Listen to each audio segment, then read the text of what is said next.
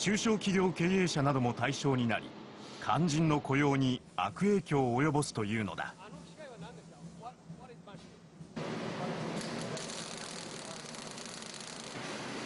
メリーランド州の金属加工会社。従業員30人。日本製ロボットを使って板金加工などを手掛けている。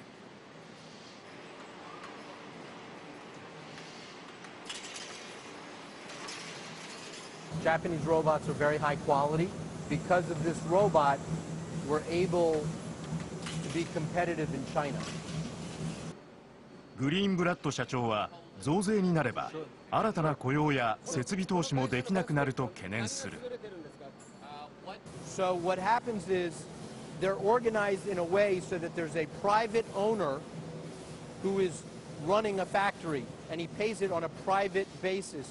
so the person that is most impacted are American factory owners. This is very bad for American entrepreneurialism.